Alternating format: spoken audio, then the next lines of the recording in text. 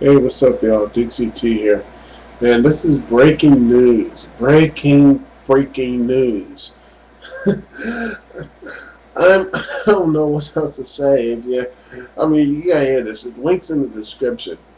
But it seems like um, the whole Nexus angle, I think this joint is officially dead.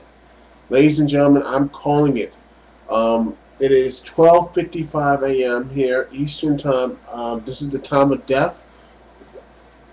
J- uh, June 29th, 2010, 12:56 a.m. I'm calling right now the death of the NXT angle because Wade Barrett, the one with the W champion, the one with the little little mafia coat, you know, with the flower on his um, lapel right there. Guess what? He's been deported.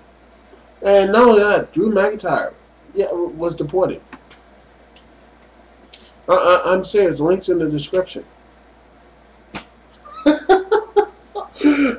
I'm, I'm, I know I shouldn't be laughing. It's just like, oh, this is the big to do. This destroys the angle, but God, I'm just wow. I mean, Drew McIntyre thing. I mean, first the guy should have been handling. But this, this the NXT thing, this thing was the biggest thing. This was supposed to be a big angle to get the viewers back and such. But this, now you have this. I mean, someone's gonna get fired. Somebody's about to get something happen to them. This is something. This is probably one of the biggest things, man. This is the biggest collapse I have ever seen. They they were doing fine without Daniel Bryan. I mean, they were mingling around. But now, not only Daniel Bryan's gone, but Wade Barrett. I don't know what else. I mean, who's uh, what else? Who's left in NXT? I mean, you got six guys who no one gives a f about. I can give well, Tarver is uh, more interesting. I mean, most of those guys, Tarver is honestly the most interesting out there, a lot. But seriously, I mean, this is supposed to be that big angle and everything else. This is supposed to be that big to do angle. This is supposed to be the one thing that bring them back, you know, this NWO ripoff. And now they can't do it because, um, one, they fired the main guy because he um, choked someone out with their tie. And two, the other, the other main guy, um, guess he's deported. He can't really do He's in England now. Screws up all their plans. F's up all their plans. Bravo, WWE. Bravo.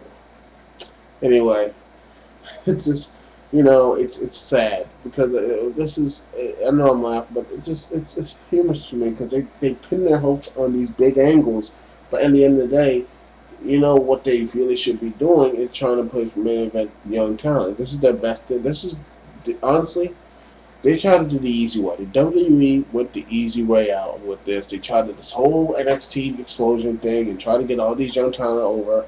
But at the end of the day, guess what? You got to do it the right way. They have to build up the pieces, and they haven't built up pieces. Now they're going to go through the hard way. Now they're going to have to build up people from scratch, and it's going to take them a long time.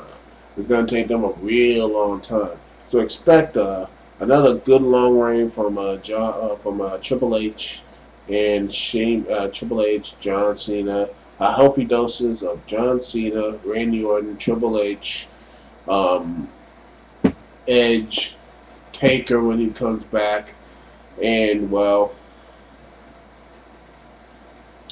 see, and maybe a little spunky of a sprinkle of a, you know, CM Punk somewhere because that's going to be your shows for the WWE. That's the next six, seven, eight months right there.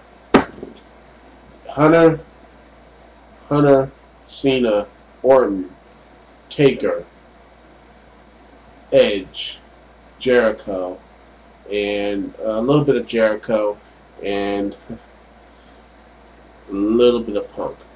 Just a smidge of Punk. Because, hey, it's the summertime, so Punk is about due for its, like, one month title reign, so. Anyway, Sticks you here. Peace, love. See y'all when I see y'all. Later.